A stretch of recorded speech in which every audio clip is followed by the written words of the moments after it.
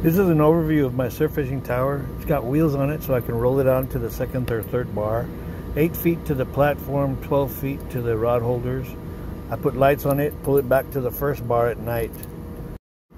Here's what it looks like when I have it uh, collapsed and on the roof of my truck.